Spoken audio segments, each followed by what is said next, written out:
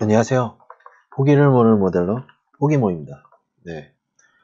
어, 이번 시간에는 이제 추가적인 텍스처 맵 설명이 또 필요할 것 같아서 또 찍게 되었는데요. 어, 여기 보시면 opacity, emissive, 뭐 height, transmission, subsurface scatter 뭐 이런 게 이런 게 있거든요. 그래서 이제 회사 가시면 회사 가기 뭐 취, 취준생 분들도 이 여기 중에 맵들을 쓰시는 게 있을 거예요. 네, 그거에 대한 용도와 간단한 설명을 알려드리고 용도와 설명 그리고 그걸 어떻게 넣는지 그걸 어떻게 보여줄 수 있게 만드는지 세 가지에 대해서 간단하게 설명을 드리도록 하겠습니다. 먼저 어, 적혀있는 대로 그냥 편하게 보시고 예, 이해하시는데 조금 편하, 편하게 말씀드리도록 하겠습니다. 오페시티 말 그대로 불투명도입니다. 불투명도 블랙이 된 부분은 나오질 않고 화이트 된 부분만 나옵니다. 그 얘는 어, 이겁니다. 이거 이게 나뭇잎이거든요. 나뭇잎이 이렇게 albedo map이 이래요. 근데 opacity map은 이렇습니다. 결국에는 이 형태가 이러한 형태 따라 지금 opacity가 이렇게 되어 있잖아요. 그렇기 때문에 나중에 최종 결과물들도 이 나머지 이 블랙 부분, 이 부분은 나타나질 않는 겁니다. 그래서 이 opacity map은 특히 나뭇잎 할 때 뭔가 개체수가 많은데 좀 더 shape을 디테일하게 살리고 그리고 좀 더 편리하게 작업을 할 수 있게끔 그렇기 때문에 완전 블랙된 부분은 없애고 화이트 부분은 생기도록 이런 식으로 작업을 진행합니다. 그래서 이 예제를 통해서 또 보여드릴게요. 여기 중요한 거는 opacity 쓸 때 중요한 거는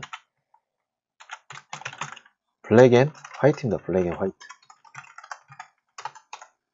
이 값으로 얘네를 주기 때문에 또한 plane, plane 모델 opacity는 plane 모델링에서 굉장히 강력합니다. plane 모델링이 뭐냐면 이거죠 이거. 완전히 polygon이 다 닫혀져 있지 않는 이 shell 주면은 이 박스죠. 이렇게. 그러지 않고 그냥 plane으로만 이런 식으로 완전히 닫혀지지 않고 그냥 네모난 plane 하나. 이런 모델링 할 때 opacity를 써요. 그래서 지금 설명은 이 정도면 충분할 것 같고 예제를 통해서 보여드릴게요. plane을 하나 갖고 왔잖아요. 여기서 제가 아까 찾아둔 텍스처 맵을 한번 넣어 보겠습니다. 이렇게 해서 갖고 온 다음에 fill layer 하나 만든 다음에 base color 하나 주시고 아, roughness도 갖고 와야겠네요. roughness도 갖고 오고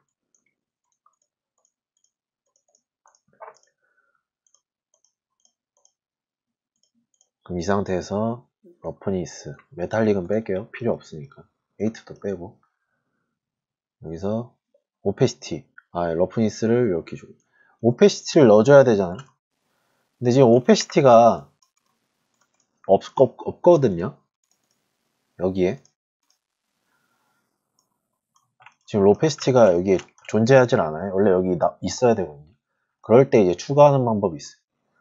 여기 텍스처 셋 세팅에 여기 없으시면 여기 보시면 있습니다. 텍스처 셋 세팅 여기에 채널이 있죠. 채널 채널에 플러스 표시가 있어요. 이걸 눌러보시면 나머지 map들은 여기로 추가할 수 있어요. 뭐 ambient, coat, color 뭐 여러 가지 막 있잖아요. displacement 뭐 그 중에 제가 아까 알려, 방금 전에 말씀드린 emissive 다 있죠. scattering 뭐. 그 중에 저희는 이제 opacity를 추가할 겁니다. 그래서 어,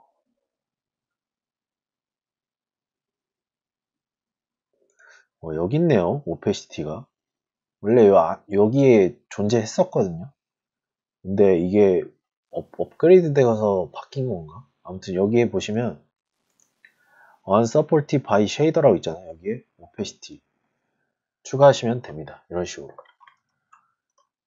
그런 다음에 이걸 활성화 시키고 여기에 이렇게 끌어다 두시면 아무런 변화가 없죠.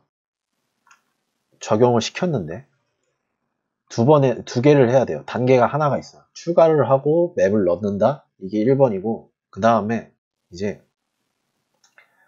어, shader 세팅에 shader 세팅이라고 있어요.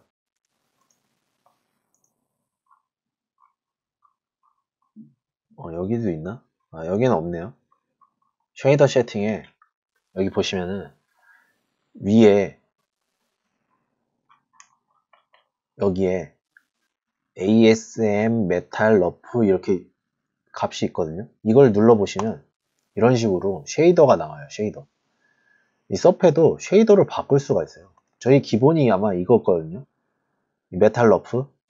근데 뭐 찾아보시면 뭐 clay도 있고 뭐 Dota 뭐 여러 가지가 있어요. 그 중에 opacity 찾으면 돼요. opacity를 그 뭐지 알파라고도 표현을 합니다. 그렇기 때문에 어, 이거를 다시 설명드릴게요. opacity는 이 용어가 두 가지가 있어요. 알파. 알파라고도 표현을 해요. opacity. 그래서 여기 다시 shader 세팅에 눌러셔갖고 뭐 metal rough with alpha test도 있고 뭐 blending도 있고 뭐 아무거나 사용하시면 돼요. 저는 이걸 해볼게요. blending. 그럼 이런 식으로 opacity 빠진 나뭇잎이 형성이 됩니다. 대신에 이건 plane으로 하셔야 돼요. plane으로. 모델링이 plane이어만 이 UV에서 UV가 있잖아요. 이 plane에 지금 이게 UV잖아요. 이 꺼보시면 이게 UV잖아요. 그래서 plane에 이제 black and white white 값이 없, 있고 black 값이 사라졌기 때문에 이런 식으로 나뭇잎 모양이 형성이 되는 겁니다. 그래서 opacity는 이럴 때 많이 써요. 혹은 뭐 찢어진 천이나 이런 것들 plane으로 할 수 있는 모델링에 좀 최적화되어 있습니다. 네. 그렇게 해서 적용하는 것은 다시 말씀드리면 여기 플러스에서 뭐 unsupported shader 가시면 여기 opacity 지금 추가해서 없죠. opacity 추가하면은 있습니다. 이런 식으로 그렇게 해서 적용을 하시고 나중에 이제 shader 세팅에 여기에 이런 것들을 변경하셔야 돼요. 카메라 값이 shader 그래야 나옵니다. 기본은 이거거든요. 그럼 안 나옵니다. 그래서 여기 알파라고 써져 있거든요. 서펜은 알파라고 표현하네요. 여기서 alpha blending, 뭐 alpha test. 그래서 아무거나 사용하셔도 무방합니다. 네.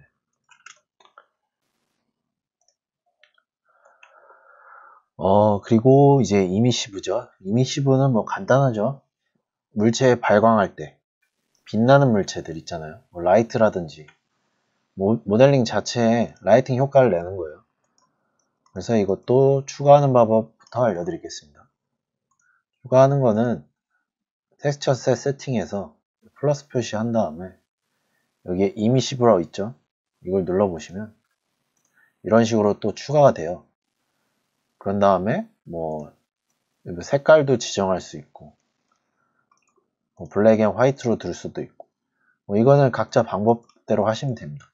근데 저는 보통 layer를 하나 더 만들어요. 이걸 따로 쓰기 때문에 fill layer 하나 만들고 다 꺼주고 emissive만 뭐 빨간색으로 줄 거면 이렇게 해서 black and mask로 페인트로 그려줍니다. 그래서 예를 들면 이 나뭇잎만 발굴 이 나뭇잎 줄기 프레임이라 해야 되나 이것들을 이것만 발광을 하게끔 이렇게 치, 칠해 줄게요. 대충. 뭐 이렇게 칠했다 치면 이제 이미시브 맵을 선택해 보시면 이런 식으로 나머지는 블랙인 거예요. 지금 투명하게 나오는데 블랙으로 표현돼요. export 하면. 신경 쓰지 마시고 이런 식으로 빨간색 라인으로 발광하는 것처럼 나옵니다. 근데 지금 보시면은 뭐 아무런 변화가 없죠. 이게 서페에서 emissive map을 확인하는 용, 확인하려면 좀 제한적이에요. 보통은 emissive를 서페에서 확인하지 않고 저는 엔진이나 뭐 마모셋이나 이런 데서 그 환경값 세팅을 해서 확인을 하는 편입니다. 이건 마스크만, 마스크랑 그냥 맵만 그려주는 거예요. 이런 식으로. 서페에서는. 근데 서페에서 만약에 난 확인하고 싶다. 그럼 할 수도 있어요. 근데 정확하진 않아요. 이, 이 렌즈를 이용해서 그냥 어느 정도 발광하는지만 대충 볼 수 있거든요. 그거를 설명드릴게요. 여기 보시면은 display setting 있죠. 여기에 glare라고 있어요. glare. 이거 체크를 하고 여기에 glare라고 있거든요. 이겁니다. 이거. 이거를 체크를 하시면 지금 이게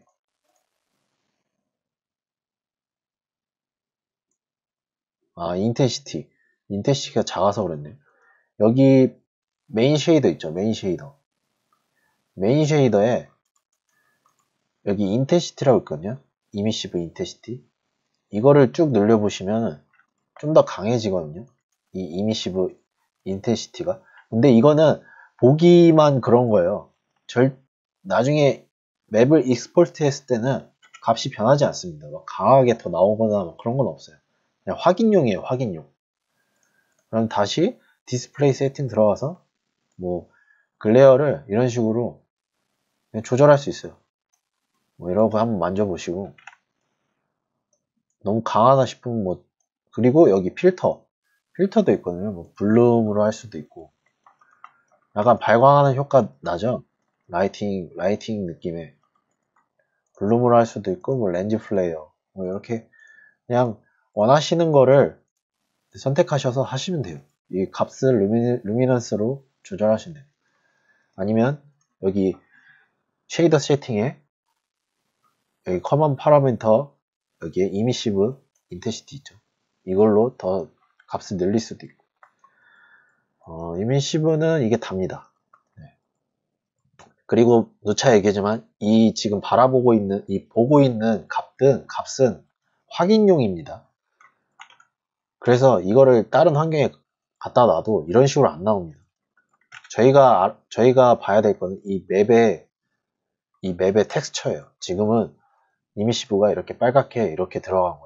이것만 확인을 하시면 됩니다. 이거는 그냥 서페에서 보는 용도입니다. 네. 그래서 이미시브는 이런 식으로 하시면 됩니다. 발광하는 효과